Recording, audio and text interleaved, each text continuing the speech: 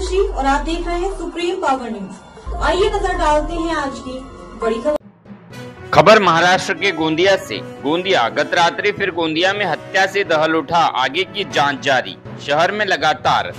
गुड़वा के बाद मुरी एफसीआई गोदाम के पास गत रात्रि 38 वर्षीय युवक की पत्थर मारकर हत्या कर दी गई। पुलिस सूत्रों के अनुसार हत्या करने वाले दो युवकों को कुछ घंटे में पकड़ा गया। आगे की जाँच गोंदिया पुलिस कर रही। मृतक अभी तक अज्ञात बताया जा रहा। महाराष्ट्र गोंदिया से सतीश पारधी की रिपोर्ट।